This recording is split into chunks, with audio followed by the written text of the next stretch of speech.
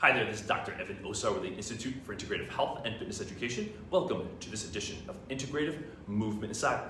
Today is Tuesday morning. Hey, thanks so much for being on. I truly appreciate your support. I appreciate all you do for your communities because right now we need leaders more than ever. We need individuals that are going to step up and lead their communities and help them address the most common issues that are or impacting the older adult population, especially if you work with older adults because Today's topic is all about balance. Many of our older clients, one in three actually over the age of 65, will fall. And in those individuals that fall, one in three of them to one in four, one third to, or I should say a quarter to a third of them will actually die related to the side effects of that fall, pneumonia and other respiratory and cardiovascular health factors. In fact, my own mother fell many years ago and she never walked again. She literally fell, broke her hip, and never walked again for the last 10 years of her life. So most people don't last if they don't walk again, but my mother did last. She's a strong, you know, she was a strong-willed individual, and she did survive. However, it wasn't a good quality of life because she was basically bedridden and, and or chair-ridden for, for the rest of her life. So one of the great things is, however, you can do so much as a health and fitness professional to help address some of the most common causes of balance issues one of the most common things we see, so first I'll address the most common thing we see that contributes to balance issues, or I should say one of the underlying causes, and then we'll show you a very simple exercise, which is gr what's great about this exercise is it will work right away. You don't have to wait for days or weeks uh, or months for it to work. It actually can improve how someone walks and balances in one session. Now, it doesn't mean that's all they need and there are no other factors you need to work on and they don't need to build competence up in, in this pattern, but it's so effective that it actually works in one time. Now, let me just share with you a common reason why so many individuals actually fall. One of the things that happens to us as we age is we lose the ability to move through the transverse plane. When we think about walking, walking is really all about transverse plane motion, rotation, and then ultimate counter rotation to use elastic and potential energy to propel us forward with less effort. And that's why if you watch somebody walk who is very has very good alignment and control and has worked on their alignment and control and their breathing their entire life, it looks very fluid. And, and a great way to, to, visualize this is looking at a Kenyan runner versus like a not good runner. So the Kenyan runners and African runners, they generally win them uh, marathons and they're, and they're really approaching like that two minute marathon, so they're very, very efficient runners. And when you look at a marathoner, someone that does a marathon in four to six hours, again, very cool that anybody can, can walk in or run a marathon. So I'm not taking anything away from those individuals.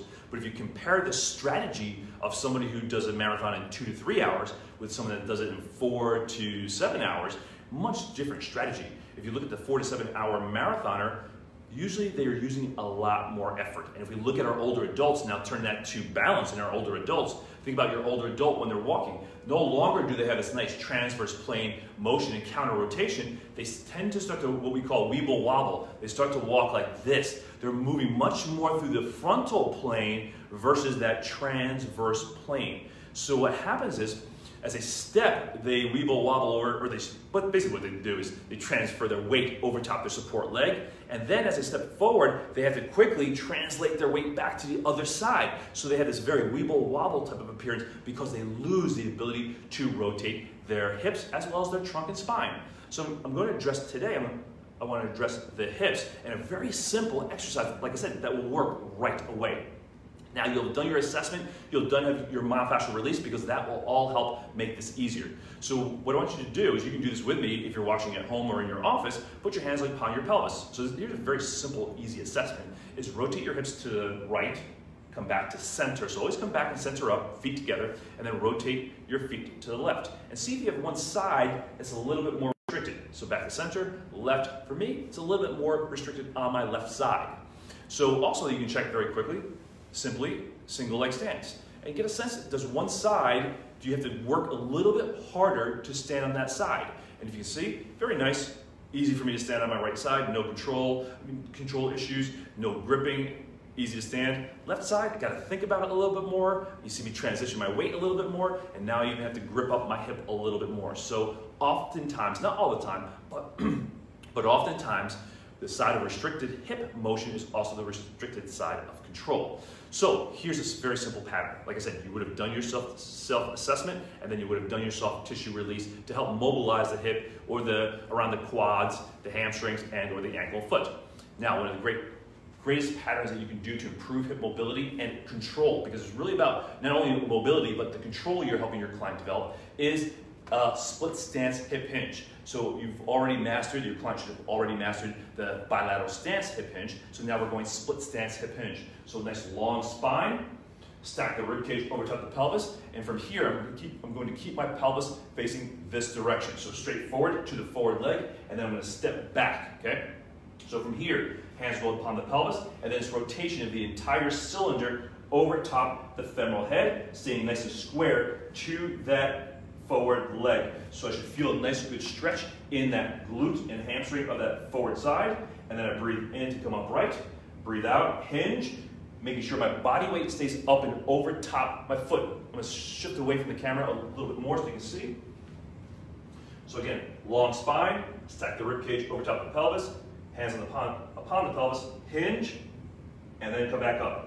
So one more time, hinge, the weight stays up over top of the foot, not back here like this. So I'm gonna keep my weight over top of the foot here, so my hip is almost over top my ankle, or as close to the ankle and foot as possible, and then just do a couple more repetitions, hinge, and then come back up, and then one more time. So we do have our client do two sets of 10 repetitions or so. And now let's come back up and just do a quick recheck. And again, this is one set of maybe I did six repetitions or so.